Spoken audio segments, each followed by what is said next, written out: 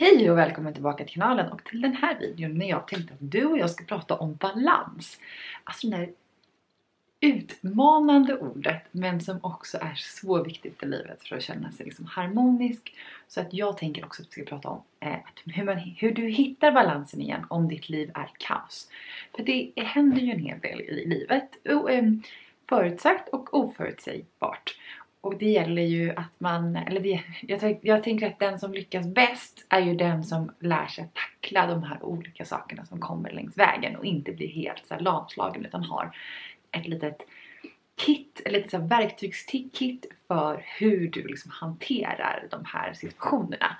Och Eh, vi har ju alla varit med om en, en pandemi. Eh, där fick vi lära oss ett och annat om oss själva och om andra och om hur man hanterar liksom en sån kris. Personligen har jag ju också gått igenom ett par andra kriser genom de senaste åren. Det har varit separation och det har varit jag har blivit av mitt jobb.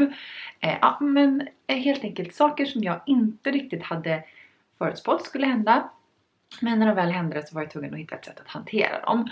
Och jag har hittat några saker som jag verkligen tror på att det är det här som var nyckeln till att jag har hittat min balans igen. Eh, jag gjorde en video för några tag, ett tag sedan hur jag hittade gnistan. Jag länkar den här nere i boxen och i korten. Eh, men det här är lite mer så här, när du känner att allting är liksom, går åt pipsvängen. Var ska du börja någonstans för att liksom lugna ner livet och också få lite mer fokus? Så jag hoppas verkligen att du gillar mina tips. Det är 10 stycken och vi sätter igång med det första på en gång. Det första är kanske, eh, beroende på vilken typ av människa du är så kanske du tycker att det här är lite tråkigt. Men det är att införa rutiner. Alltså försök att minimera. Jag hade en diskussion i, eller diskussion, men vi hade ett, ett, ett intressant samtal i kommentarsfältet eh, i en av mina förra videos. Hur att, eh, det var lite sådär, men eh, du är otroligt så strukturerad och hur lyckas du med det och sådär. Och då, fick jag, då funderade jag liksom ett varv och kom på att eh, det är nog så att jag har liksom infört rutiner för sånt som jag vet dyker upp varje vecka. Till exempel jag vet att jag måste tvätta. Då har jag en dag. På fredagar, om jag är hemma på fredagar, då tvättar jag på fredag eftermiddagen eller på kvällen.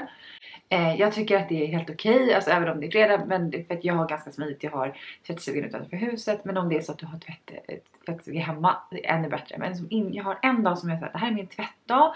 Jag har onsdagar, då är min beställa och planera matdag. Torsdagar hämtar jag maten. Så jag har så saker som jag vet så här, det här måste jag göra varje vecka. Och då sätter jag rutin på det. För att då behöver inte jag ägna någon liksom hjärnkapacitet åt det. Utan jag vet att det bara flyter på. Ja, men jag vet att jag ska klä på mig varje dag. Men då ser jag till att ha kläder. Eh, jag vet att jag ska äta varje dag. Se till att jag har planerat min mat. Alltså sådana där små, små saker som gör, alltså sådana saker som är så här vardagssaker, städning till exempel. Jag vet att jag alltid måste städa antingen fredag eller lördag. Eh, så det är liksom sådana där saker som jag, det, jag kommer inte undan dem hur jag än gör. Och de kan ju kännas överväldigande om det är så att man har väldigt lite kapacitet i sin själ och sitt huvud.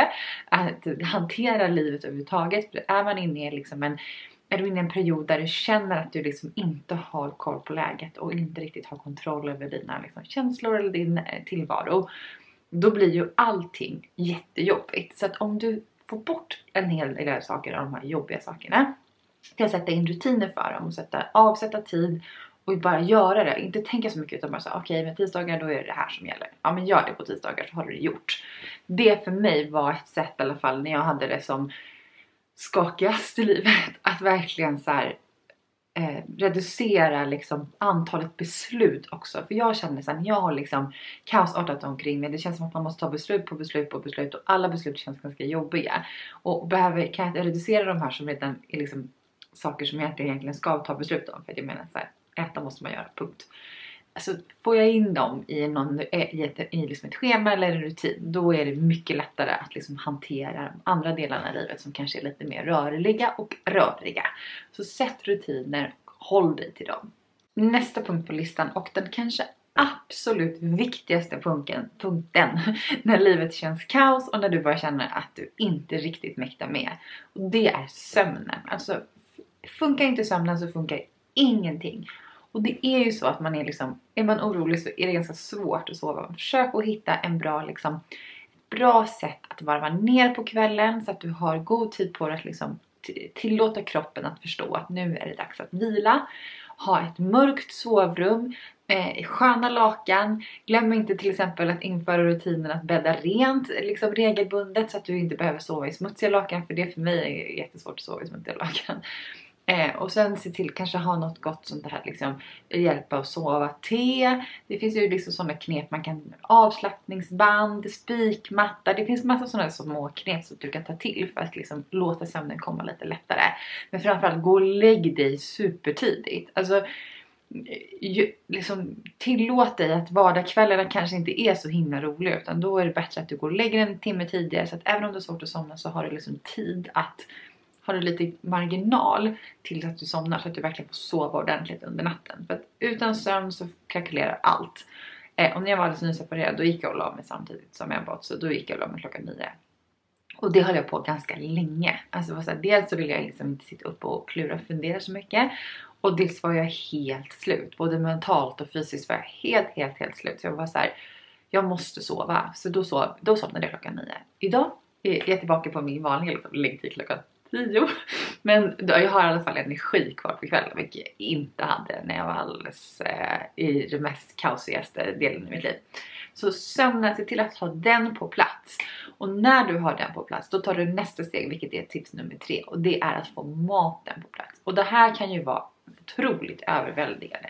Det är inte så att du behöver äta så här, byta kost helt Eh, och lägg inte, gör ingen så här superambitiös plan för när livet är kaos och att du ska liksom försöka fokusera. För att jag har upplevt också därför att pratade jag jättemycket med min förra kollega om så här, När livet är kaos då hittar då, träff, då liksom gör man någonting då hittar man på någon ny hobby eller någonting eller gör, så anmäler sig till någon kurs eller så ska flytta. Alltså gör någon så stor grej bara för att då om man inte har kontroll över någonting annat så tar man något nytt att få kontroll över. Så att håll, eh, du kanske inte ska liksom göra det just nu i livet.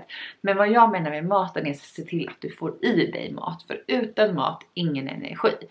Se till att du får i ordentligt med frukost, lunch och middag. Behöver du mellanmål så se till att portionera ut dem så att du får regelbundet intag av maten så att du orkar med en hel dag.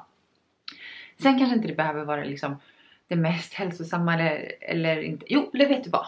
Försök, alltså om det inte är för jobbigt, försök att liksom ändå typ addera mer. Du behöver inte liksom känna att du ska reducera saker eller ta bort saker eller låta bli saker. Men hopp, jag hoppas att du ska kunna orka i alla fall addera lite så här, lite mer grönsaker, lite mer frukt, lite mer bra så här, proteiner, långsamma kolhydrater. För jag märkte jättestor skillnad när jag började liksom justera min kost. För att i början, eh, framförallt efter separationen var så här, jag bara vad som än hur vi än får mat på bordet. Alltså oavsett hur det går. Så det blev väldigt mycket hamburgare och så här hämtpizza och sådana där grejer bara för att jag, jag mäktade inte med. Jag orkade inte laga mat, jag, jag orkade inte liksom planera, jag, or, jag, hade inte den kapaciteten. Jag hade inte de där rutinerna som jag har hittat nu som jag pratade om första punkten. Eh, men när det liksom, det värsta, värsta primära liksom kaoset började lägga sig lite då upptäckte jag att jag fick lite, lite energi och då gjorde jag, drog jag igång min hälsosatsning och i och med det så åt jag ju också bättre. Och det märker jag ju då så här, nu, ju mer bra grejer jag stoppar i mig desto mer energi och desto mer ork och desto mer balans känner jag i livet. Så att det som var från början så här en uppoffring att börja äta nyttigare för att jag tyckte det var så skönt att ha den här liksom pizzan och hamburgaren tillgänglig. Det, till, det har tvärtom blivit en framgångsfaktor. Att jag ska liksom, eh, jag mår mycket bättre när jag äter bra. Och det är inte bara att jag känner mig liksom piggare i kroppen utan också att jag får bättre energi. Så att få, efter att du har fått sömnen på plats, se till att du får maten. Alltså jag tänker mest regelbundet och bara försöka så här, där det går stoppa in kanske en extra grönsak eller en extra frukt. Men håll ambitionsnivån på liksom väldigt låg nivå. Men bara se till att du får mat i dig så att du inte glömmer bort att äta. Nu har vi sömnen på plats, vi har rutinerna, vi har maten på plats och då kommer vi till den, sist, den tredje benet i det här. Sömn, mat och rörelse. Alltså det är de här tre enheterna och är, är det så att om jag upptäckte i alla fall så här, om jag inte sover då äter jag dåligt och då äter jag dåligt så rör jag inte på mig. Men är det tvärtom, sover jag bra, äter jag bra, då är jag också sugen på att röra mig för då har jag ju mer energi. Och med röra mig så betyder det absolut inte att du ska gå från 0 till 100 och köra någon slags crossfit-utmaning på 30 dagar. Utan om du inte du tycker att det är en jättebra idé. Men för mig har det handlat om att liksom sakta men säkert lägga till lite mer rörelse i vardagen. Lite längre promenader, lite fler steg varje dag. ett och annat gymbesök men jag håller det verkligen till en så här väldigt fortfarande väldigt låg ambitionsnivå för att jag har fortfarande inte riktigt landat i den här liksom den nya balansen. Den är mycket, mycket bättre nu men den är absolut inte optimal. Så att jag går eh, mycket promenader och det är det som funkar för mig för det är också form av frisk luft och det är också väldigt bra för min mentala hälsa. Men också gör några så här, ibland lite hemmagympa eller träning framför Youtube. Jag länkar eh, Sandra Fribergs konto i boxen nedan. Jag tycker att hennes videos är riktigt, riktigt bra det är bra ambitionsnivå, alltså den är liksom inte de är inte för komplicerade, det finns liksom olika saker att välja på. Jag tycker att hon har lyckats väldigt bra med liksom hemmaträningen. Och annars ibland så, när liksom tiden tillåter så går jag på gymmet. Men det är absolut inte så här något program som jag följer utan jag gör, jag gör mest för att jag vet att jag mår bra, bra av det men att jag inte, jag också, jag också liksom förståelse för mig själv att jag kanske inte hinner med allting som jag skulle vilja göra. Men se till i alla fall att få lite rörelse. Det kan handla om liksom en, en liten promenad varje dag. Alltså det behöver inte vara så himla ambitiöst. Men bara liksom, dels får du ju lite tid för dig själv och kanske samla tankarna lite, rensa huvudet lite. Men också så får du ju liksom igång hjärtat och också får mer syre in i blodet. Så att det är bara win-win-win på det där. Med att röra på sig. Nästa punkt och nästa tips är för mig väldigt, väldigt, väldigt viktigt. Och det borde det också vara för dig. För att den här balansen kommer aldrig liksom komma utan att du faktiskt börjar sortera om dina tårtbitar. Och en av de viktigaste tårtbitarna som jag tror att du har tappat om du känner att du har liksom ett kaosartat liv utan balans, det är dig själv.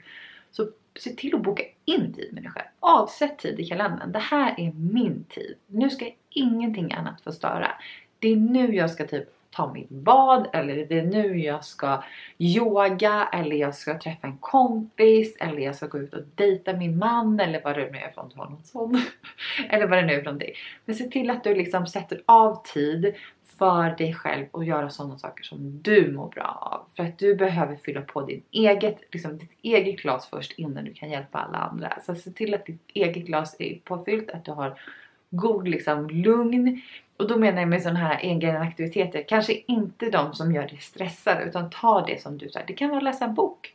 Alltså det behöver inte vara så komplicerat. Det kan vara att sitta på balkongen och dricka kaffe. Alltså bara se till att du liksom prioriterar de där små, små liksom tids eh, tårtorna, tårtbitarna i vardagen som är dina. För det är liksom, du kan inte bara hålla på och hjälpa alla andra hela tiden utan det är viktigt också att du, att du hjälper dig själv. Det är liksom som de säger på flyget, du måste sätta på en egen mask innan du kan hjälpa andra. Och det är faktiskt så. Alltså det är så klyschigt men det, det är så det funkar. Och därför är det så viktigt att ha liksom, avsatt sin egen tid, liksom, avsatt tid för egen tid. Men för mig är det så här, dels är Youtube en del av det. Det är ju liksom min egen tid på sätt och vis. Men också vad är liksom mitt bästa Alltså jag ligger ju i badet och tittar på serier. Det är liksom, det är min eh, bästa egen tid som inte heller behöver bli så komplicerad eftersom jag är på hemmaplan och liksom allting så här, Det behöver inte bokas i förtid, det är bara att tappa upp badet. Så att jag hittar några sådana saker som jag gör. Och mina promenader, men de är ju också med rörelsen. Så att, ja. Men hitta någonting eh, som du verkligen tycker är viktigt. Lägga pussel har jag gjort också. Det är jättemysigt. Nummer sex och det här är Alltså jag, alla de här punkterna är viktiga men det här är kanske en av de viktigaste och det är att du måste dra ner på ambitionsnivån. Alltså det är inte möjligt att försöka hinna med allting när man känner att livet är kaos och det är inte möjligt att försöka liksom springa, alltså att typ träna för ett maraton, ha perfekt städat hem, ha den mest liksom eh, näringsrika kosten på tallriken, eh, ha välklädda och obråkiga barn, alltså allting sånt där, jobb, att vara liksom briljant på jobbet. Det går inte att göra allting på en gång. Så dra ner ambitionsnivån ambitionsnivån. Tänk så här, det här är bara en svacka i mitt liv. Det här är ingenting som kommer vara långvarigt. För det är bara just nu när jag har kaos över allt annat så kan jag inte vara ambitiös på alla håll och, håll och kanter. Utan jag behöver dra ner min ambitionsnivå för att känna att jag liksom att jag räcker till och att jag mäktar med. Och hellre ha låga satta mål som du klarar för det kommer göra det jättebra för din liksom, självkänsla än att du sätter upp jättehöga mål som du aldrig kommer klara för då, då kommer din liksom, självkänsla bara sjunka och sjunka och sjunka tills du inte känner att du liksom, är värd någonting. Så sätt dig liksom, titta på, titta på dig själv utifrån och, så, och liksom rent så här, så opartiskt, det är helt omöjligt men liksom så. Eh, så. Hur, vad alla dina liksom, åtaganden som du har just nu i ditt liv och allting som påverkar just eh, din, din balans eller brist på balans om du hade haft någon, träffat någon annan person som hade varit i den, här person, i den här situationen. Hade du tyckt att det var rimligt att den, här, den personen hade samma ambitionsnivå som du har just nu? Förmodligen inte. Utan dra ner på ambitionsnivån så kommer du känna liksom, sätt inte mer krav på dig själv än vad du behöver. Nummer sju, det här kanske är också en sån där sak som känns jobbigare, när, särskilt när man liksom inte riktigt vet vart man ska börja och vad man ska ta tag i och bara allting känns, alla saker i livet känns bara överväldigande. Men jag lovar dig att när du väl har kommit över den tröskeln så kommer det här vara väl värd investering i din tid. Och det är att städa. Så städa ditt inre och yttre rum. Dels hålla, försök hålla ordning hemma. I alla fall för mig så funkar det liksom som en jättebra så här, eh, mental hälsa-markör. Är det, alltså, är det städat hemma hos mig eller liksom undanplockat, så nu är det klart att det inte är så här, det är inte skinande rent rent. Men när det är liksom grundstädat och grundordning, det är beviset på att jag mår bra eller är på väg åt ett bra håll. Eh, men däremot så är det liksom kaos överallt och det bara är så grejer och det är smuligt och smutsigt. Då är det bevis på att jag inte respekterar mig eller eh, min omgivning eh, och min miljö, hemmiljö. Utan eh, ta, sätt den där rutinen, du vet så en dag i veckan så har du kör städning för då kommer du ändå ha en grundordning även om det liksom blir lite stökigt i veckorna. Se till att städa, men jag tänker också städa på ditt, i ditt inre rum dra, ta bort det som drar ner din energi.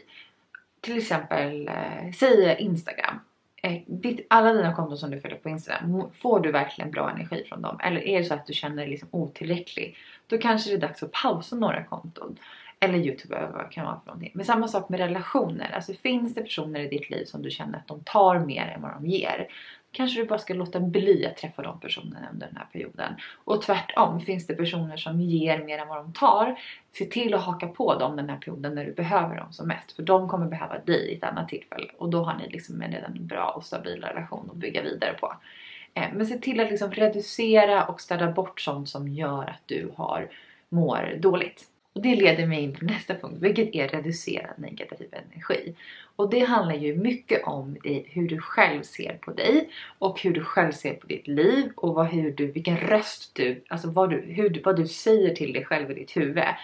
Alltså vakna upp en dag och säger så här, nej men ingenting passar i garderoben. Åh men, eh, och du duger inte till det här och gud vad du, varför gjorde du så där och nu skrek du på dina barn igen och varför har du inte städat det här? Varför lagar du inte bättre mat? Varför är du inte duktigare på jobbet? Alltså om jag håller på att prata så om mig själv, då är det klart att jag att jag får ett jättedåligt så här, liksom, eh, självkänsla och två också spär på den här obalansen. Eh, men också vad, eh, om du har, jag är lite inne på samma som i förra punkten, så här, om det finns folk i din närhet som inte sprider god energi omkring sig och som kanske, du vet, det brukar vara, alltså det är väldigt sällan folk säger så rakt ut till en otrevliga saker, men det kan vara väldigt subtilt. Det kan vara en kollega som liksom alltid så här Eh, tar credden för det du gör. Eh, det kan vara en chef som inte riktigt lyfter dig utan liksom, eh, som inte lyssnar på dig när du säger att du behöver hjälp med prioritering. det kan vara din en förälder som du så att alltid kommer med så lite syrliga kommentarer. Det kan vara en partner, det kan vara Eh, barnen är ju svårt att se ångest. Då får man försöka lära hur man ska hantera. Men men eh, alltså hur man ska, att man inte ska göra på det sättet. Men det kan vara direkt så en, gammal, en gammal vänskap som ni kanske har vuxit ifrån varandra och har helt olika nu. Liksom eh, synsätt på livet. Men det, kan vara, det kan vara olika skäl. Det behöver inte vara att någon vill vara elak. Det kanske bara inte är kompatibelt med dig och din, din energi just nu. Se till att liksom eh, reducera de där personerna i ditt liv för att det kommer göra att du får en mycket, mycket härligare närvaro och eh, liksom bättre balans när du inte behöver fundera så mycket på hur, hur ska den här personen hantera det här och okej okay, men om jag nu råkar jag säga det här och tänk om den liksom eh, typ snackar skit om mig nu och sånt där. Alltså man behöver, om man har obalans i livet och du bara känner att det liksom allting är kaos. Då behöver du inte också behöva fundera på allt sånt där. Utan du vill ju bara ha omge dig med folk som så peppar dig och som försöker få dig att må bättre. Nästa eh, tips är att införa lugna aktiviteter. Kanske tillsammans med barnen, med familjen eh, och framförallt för dig själv. Jag har märkt det att min balans blev mycket bättre när jag började läsa mer och precis som jag sa, jag byggde, la ett tusenbitars pussel. Det var otroligt rogivande.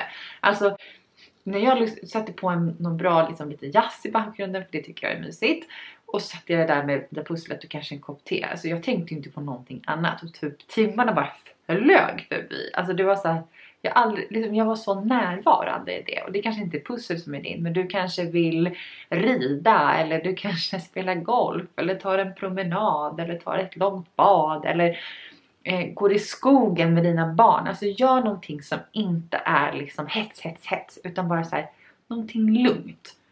Eh, kanske ro, eh, paddla kanot, jag vet inte. Alltså någonting som är så här, för både själen och kroppen en lugn aktivitet. Så jag, jag tycker verkligen att det är... Jag, jag har sett jättestor skillnad. Och det var så här, det var inte riktigt så att jag tänkte att jag skulle göra så här, alltså aktivt. Jag hade ju inte tittat på den här videon. Så jag hade inte fått det tipset. Men jag gjorde det liksom undermedvetet. Och när jag började göra det så var jag så här. Åh vad skönt. Eller typ måla om en vägg eller någonting sånt där som är så här väldigt lugnt och skönt. Och nummer 10, sista tipset. Och det gör vi tillsammans. Och det är att andas. Alltså allting kommer gå över till slut. Så länge du andas med din mage så, kommer, så har du en jättebra start. Så nu tar vi ett djupt andetag tillsammans. Vi räknar in. Håller andan. Och släpper ut med magen. Det var allt jag hade att bjuda på den här gången. Jag hoppas att du har haft, eh, fått med dig några knep och tips och, och, du får jättegärna fylla på med fler nere i boxen i kommentarsfältet så kan vi dela med oss av våra insikter tillsammans. Men det var allt jag hade att bjuda för idag. Tack så himla mycket för att ni tittade. Ha det så bra. Hejdå!